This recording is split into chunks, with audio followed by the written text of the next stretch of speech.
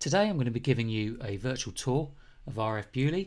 It's one of the old wartime New Forest airfields based on the south coast of England in the county of Hampshire. Um, essentially, I'm going to be giving you an intro to the airfield, a little bit of history, telling you a bit about it, showing you what's still there today um, and what used to be there, and hopefully giving you some inspiration for yourself. So if you ever want to go there yourself, you know exactly where to go. So, RAF Beaulieu, it's an A class airfield. It was opened in late 1942 um, and then closed as a military um, wartime operation in 1945 when the war ended. And then when the war ended, it remained open until I think late 1959. Um, there was a period there where it was used for testing. I'll come on to that in a minute. But yeah, it was an A class airfield. You can see the, the, the, letter A here, or what appears to be a letter A. These are the three runways. The reason um, these A class airfields had these three runways was uh, to account for wind direction. So if the wind was blowing a particular way, they could land on one aspect. If it was blowing another way, they could land on another one of the runways. Now, all these uh, A class airfields they tended to follow a template so they tended to have similar type buildings whether that was the hangars or the shooting ranges or the living accommodation and everything that went together into making this a wartime airfield. And in fact, this uh, RAF Beaulieu um, was one of the larger ones. Um, it had about 2,000 members of staff there, um, and they all would have uh, lived, slept, and eaten up in the uh, sort of accommodation quarters, most of which were concentrated around this area here, which is now known as Round Hill campsite. During the war itself, um, it was initially opened for use by the Royal Air Force. There were also Czech uh, bombers taking off and operating from here. And then towards the end of the war, the US uh, moved in and it was taken over by the US Air Force as well for a short period of time. So during its history, both bombers and fighters took off from here um, in the fight against the, the, against the enemy. If you want to access RF Beaulieu, there's there's three car parks I recommend. The first one would be here, which you come in. You can either park here or in this area here. Um, this is the Beaulieu Heath car park. It's clearly labelled as you come down here, so that's that's a good place to park.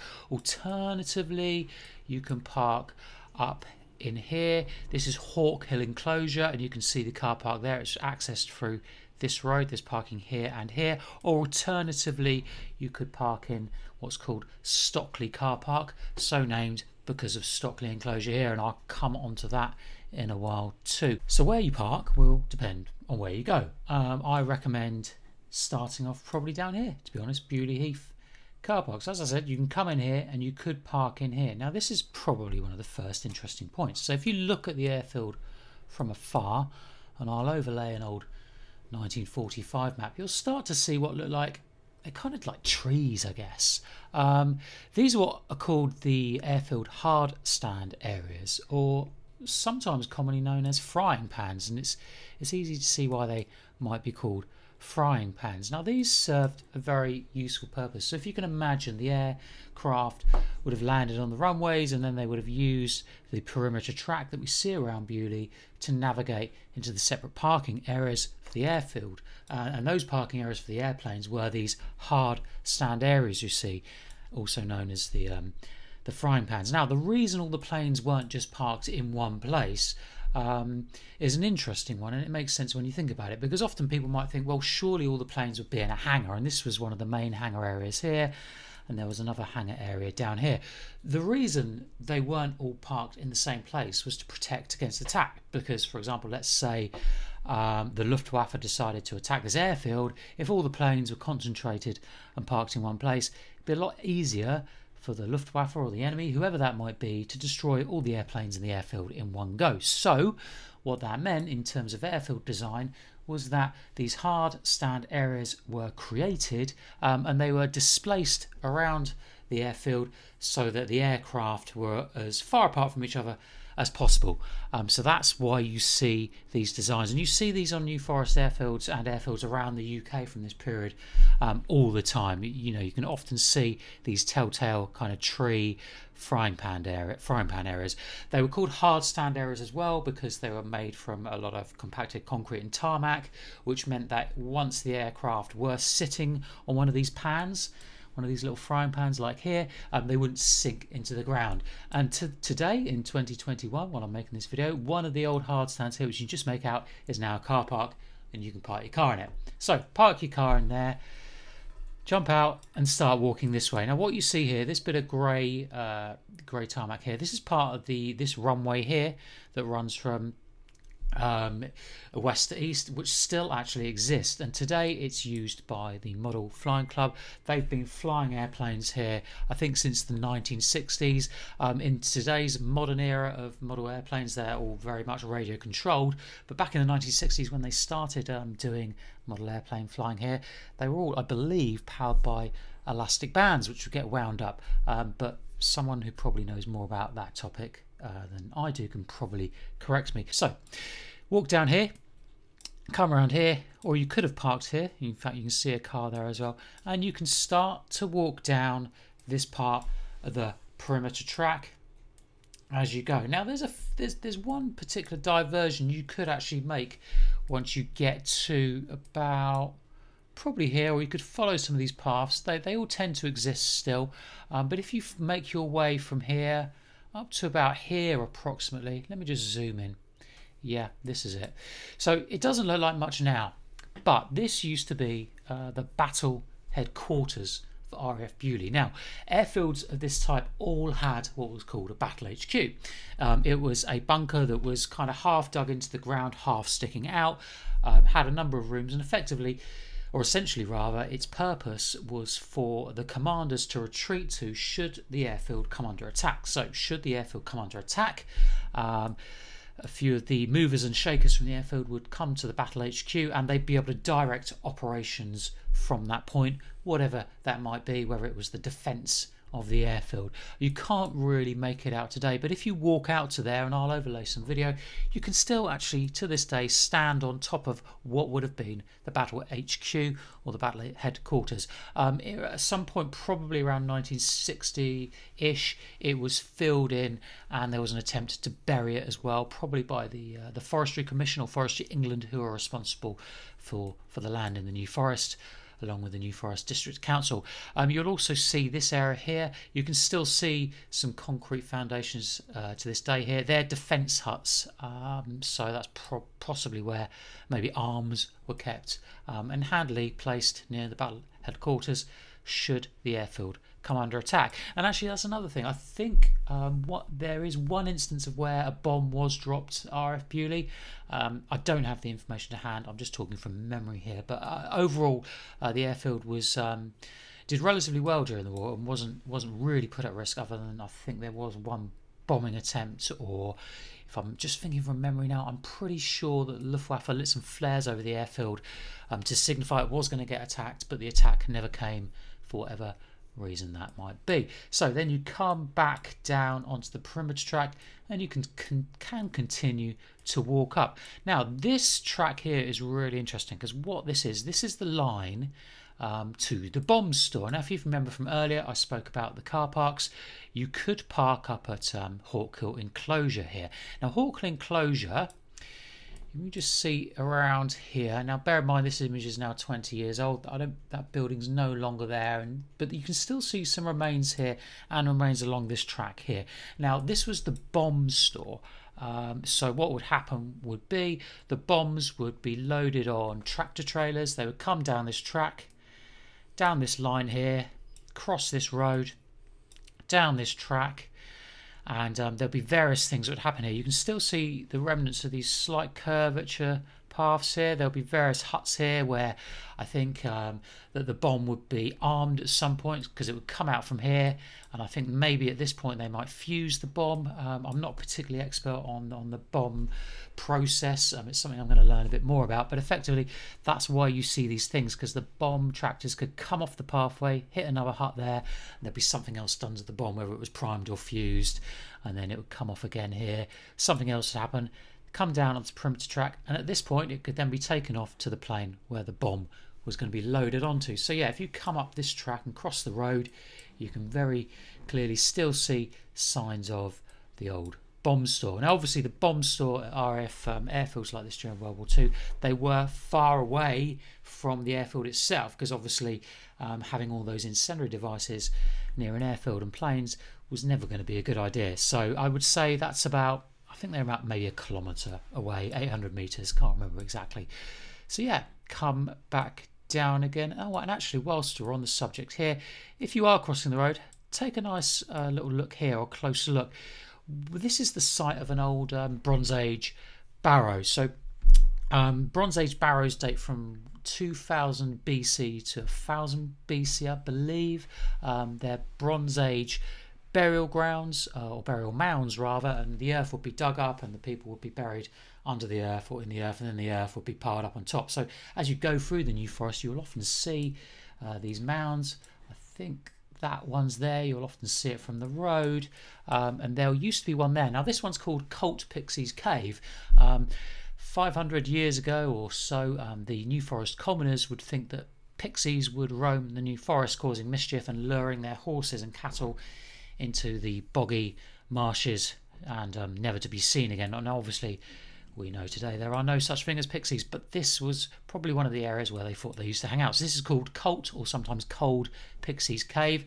It used to be a barrow very much with that mound appearance to it, but when the uh, Ministry of Defence or the Defence Ministry, can't remember the exact term, when they said they were going to take over this piece of heathland in early 1940s to make it into an airfield, there were plenty of uh, Bronze Age burial grounds and barrows on this land, uh, but they had to destroy them because obviously you cannot have big mounds on an airfield. It doesn't make for a good landing experience. So this one over here, um, you can see it's been dug out, which is why it has a very um, ununiform appearance to it. Now, interestingly enough, um, the the Ministry of Defence or the Air Ministry apologies if I'm getting my terminology wrong. What they did do, they gave archaeologists a little bit of lead time so the archaeologists could come and excavate any Bronze Age burial grounds or barrows, tumuli that they could find to excavate for anything that was there of archaeological interest before they then got flattened um, so the airfield could be made. So that's why that has a strange appearance when you look at it up close. They did actually find a bracelet in there, I believe. So just uh, something to look out for when you come to the airfield. So if you come back down this track, which leads from the bomb store up here, you can continue on this way and start walking down to here. Now this is where um, there's a lot of history actually. So this would have been ha the hangar. It was a T2 type hangar for the airfield. Um, and probably, I'm imagining at this point, I don't know for sure, I'd have to probably check it, but planes would come there for repairs maybe, and it would be used for storage. Also, what you would have here are various huts. You can still see some of the pathway configuration here. This point here is where the uh, the control tower or the watch tower for the airfield would be. And as you can see, if you zoom out, it offers views across the entire airfield. So that's something to look out for. When you do come down here, um, before you kind of hop over there into the hangar, take a walk down here and eventually you'll be stood on where the uh, the old watchtower used to be and you can just see that square configuration there and then if you come down here there, there was a path there there's like a concrete it's almost like a patio structure um, which is still very evident and then if you scroll in you can just about make out a B and an L. Now that was the pundit code for this airfield. What pundit codes were? They were two letter codes um, which would help the airfields be identified from each other. So if you think about it, during uh, World War II, there were 12 airfields in the New Forest alone. They all had a pundit code. Now, obviously, depending on the weather conditions and the experiences of the pilot, especially the US guys who are coming here for the first time, they might not have known the local landscape as well as the British guys. Um, so the pundit codes were very useful for all pilots in reality because what it did, it gave them visual indicator from the air as to which airfield they were approaching. So if they saw a B and an L there, they'd know they were at Beaulieu. So that's something to look out for. It's still there to this day, um, and it's made out of sort of a concrete cement. Something else that you'll also find there, and I think it's about here, just behind this concrete sort of patio platformy type area, you'll find the signals mortar. Now, what that would do um, and that was controlled by the uh, by the watchtower or control tower here. The signals mortar was used for when the weather conditions were really bad. So let's say there was a lot of cloud cover, the pilots couldn't see the BL, they didn't really know where they were. In order to orientate them, so they knew where to land, someone in the control tower here would probably pull a cord, um, and that would set off a mortar. Um, that would fly up through the cloud cover and explode with a flash of uh, flash of light, and that would tell the pilots that they were above RF Beaulieu and they could land correctly. Back to the pundit code though. So this pundit code BL. Interestingly enough, by at the end of the war, um, the pundit code for Beaulieu was actually changed to BQ. Um, so what you will see if you ever examine aerial photos uh, from the era for sort of 1945 and onwards, you won't see the BL, and that's because um, they actually covered it up because the airfield was now um, labelled as BQ. So during wartime, a lot of the airfields um, they did tend to change the pundit codes because there's so many airfields built. They probably started running out of pundit codes to use. Um, so yeah, BQ was what this airfield was known as post war. Another interesting aspect also about this uh, particular era is the fact that post war, sort of 1945 onwards, um, this was where a lot of testing happened. So the airfield was taken over at the end of the war by the um, Air Force Experimental Establishment, or the AFEE. They were a, a, group that was set up to test things, and the, what they would test here would be parachute drops. Um, they would also test out things, uh, new technologies such as such as helicopters. So, a classic example is a film I, I developed recently. It was kind of my attempt at a documentary on my YouTube channel was about a German helicopter that was actually captured by the Allies and flew over the English Channel. It was the first ever helicopter to cross the English Channel. Um, that was called the FA 223 Drache, and it flew from, I think, somewhere around here in France, dropped over at Dover, and then made the way all the way to RF Beaulieu to be tested. Um, so the AFEE, who were working there, towards the end of the war and then the post-war years we were able to literally strip out all the secret technology from the Luftwaffe's uh, FA223 Drache helicopter. Now, this is where a lot of the helicopter testing would happen. Um, and there's photos that I'll overlay of helicopter development happening at RF Beaulieu post-war. Um, but the Drache in particular, that German helicopter that was captured, um, it was actually captured not just the helicopter, but also um, the uh, German pilot and two engineers. They ended up working with the RF Beaulieu AFEE personnel to test the helicopter. But within two weeks of arriving at Beaulieu, they actually crashed it somewhere around here. And legend has it it's still somewhere buried on Beaulieu Heath although I would take that with a pinch of salt. But if you want to know more, um, check out my video and uh, you can find out a little bit more about that. It's a fascinating story. So if we continue on to come down this way, let's continue down the perimeter track. Um, other interesting aspects, particularly when okay, actually here's yeah here's a here's an interesting aspect. If we dive in a little bit deep here, you'll see two circles. One's man-made. In fact, sorry, let me correct myself. Both are man-made, but one's more modern than the other. So this is another one of those Bronze Age burial grounds. Um, I think it's called. It's it's, a, it's another barrow um, that has a ditch around it that fills with water when it's wet. But yeah, again, it's another Bronze Age barrow. But what you see here is more of a kind of a dartboard appearance. So this is a bombing target. Um, this was used by both the RAF and the US Air Force to practice bombing, probably in the lead up to D-Day in the case of the uh, the U.S. Air Force, at least, um, it's it's one, two, three concentric rings made from chalk. If you walk out there today, you can still occasionally make out the chalk. Um, it's actually better on a wet day because when it is a wet day, these concentric rings tend to fill with water, making it a lot easier to see the practice bombing target. I believe that's probably because the chalk um, doesn't let the water soak through as quickly as the rest of the heathland does. They used to drop things like um, smoke bombs on there and Bakelite bombs that would shatter on impact. Um, essentially, that was just so they could try and practice hitting the middle of the spot. So, yeah, it's an interesting aspect of the airfield that not many people know about. Um, it's not that easy to make out on modern day satellite imagery, but once you've got your boots on the ground there, you might be lucky enough to still see some chalk. And actually, whilst we're on the subject, if you are exploring this airfield, please don't ever dig or disturb the ground. Um, you'd be breaking various laws if you were to. So um, yeah, just a, an ethical note there, not to uh, not to break any rules. So if we come around this side of the perimeter track again, we'll see some more of those hard standing areas. We can come down lower and lower and lower, and actually there's some more interesting aspects down here. So, oh yes, so this track here, this actually leads to what would have been an old um, shooting range for probably small arms fire.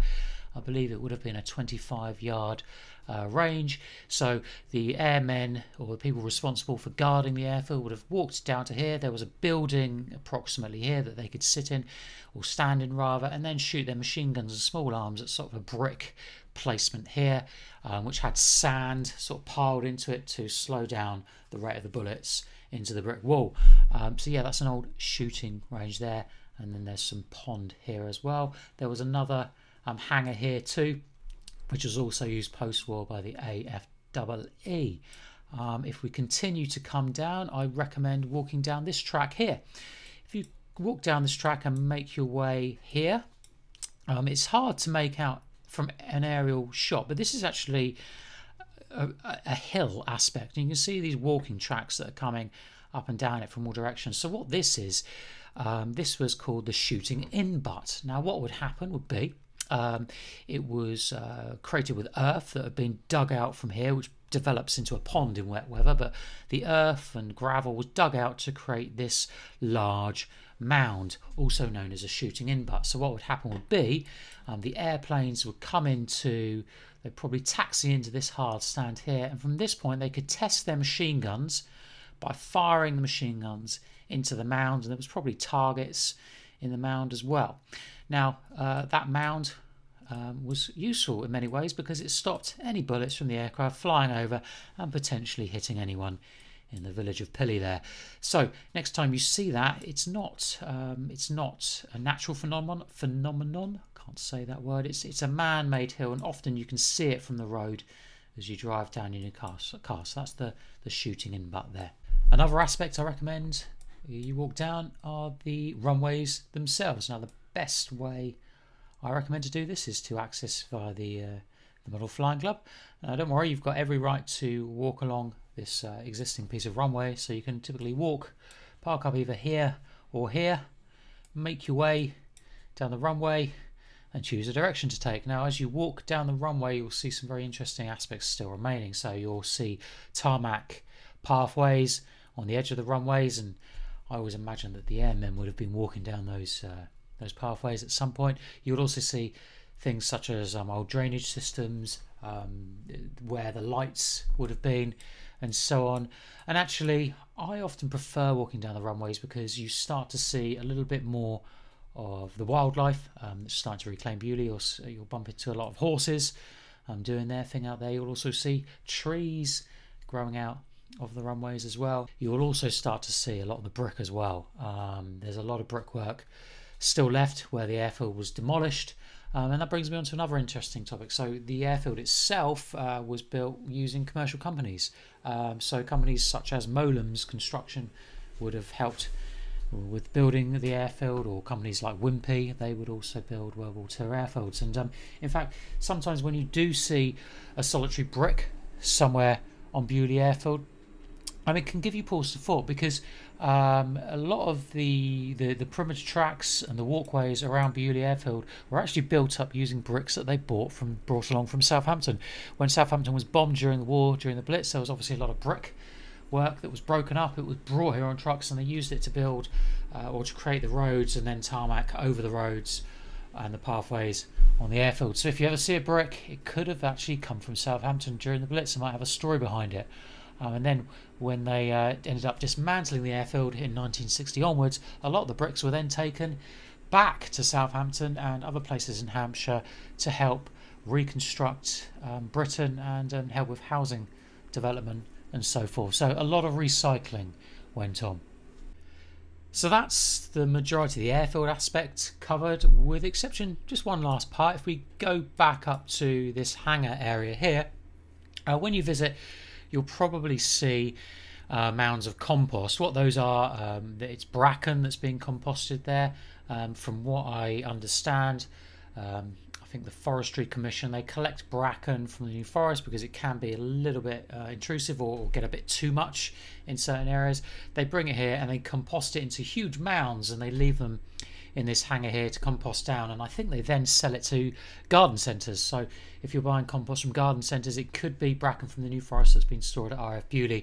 Um, I believe they also store these um, other airfields around the New Forest as well. So occasionally, if you see these big brown hills, that um, they're great to for kids to climb up. Or in fact, my son loves climbing to the top of them.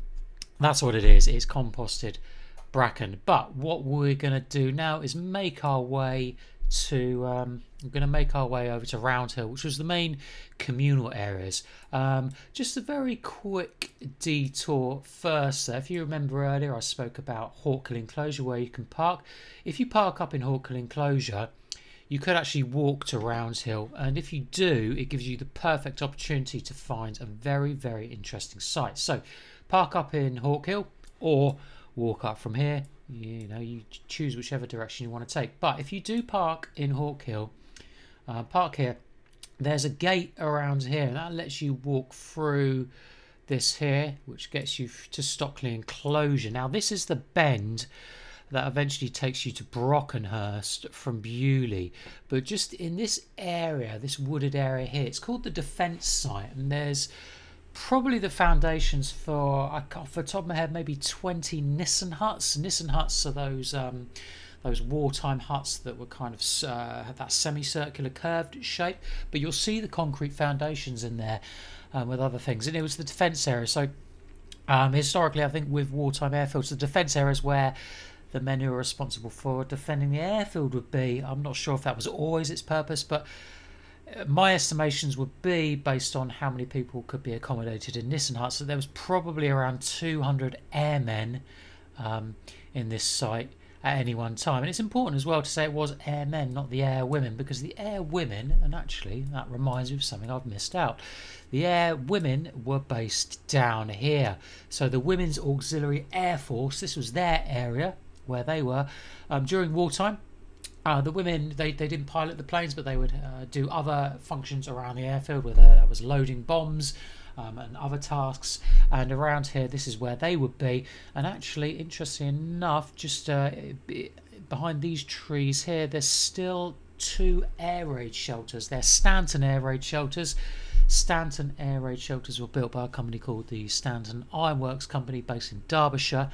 Um, and they built these air raid shelters to be used on airfields. They were easy to construct and they probably could have been carried there by a group of the airmen and then quickly put together um, in order to provide some coverage if the airfield was to come under attack. So yeah, you're still able to see two of those air uh, air raid shelters in this area, and to get to it, you walk from Roundhill and you follow a pathway down here. Now, what's important to uh, recognise at this point is this lush green area here, and all this area here, which I'm just circling with my uh, with my mouse. This is private farmland, and the air raid shelters that are here they are the other side of the fence on the private air, um, on the private land. So please don't um, jump over the fence or walk through the gate to get them because they are on private land, but you can admire them from from the fence. Um, and interesting enough as well, they're, they're, they're two structures one of the only two structures that still remain from the RF Beaulieu site. And the reason being is probably because they are on private land. Because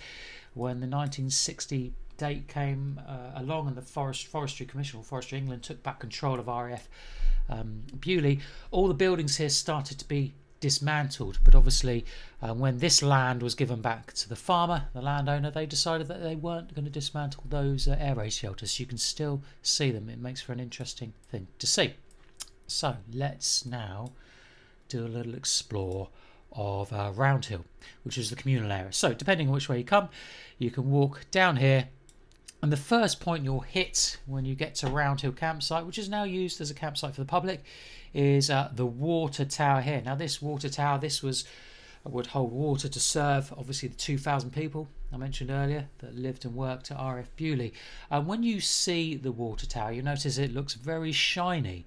Now, there's a good reason for that because 10 or 15 years ago, £250,000 was spent on replacing the actual tank aspect. So, whilst the, the, the struts and the legs that the water tower sits on are still from the wartime era, the tank itself has been replaced and actually still serves the campsite and I believe some of the surrounding um, residential areas, whether that's the houses that are still here. So that water tower, it's a stunning thing to see, um, and it's it has a fence around it.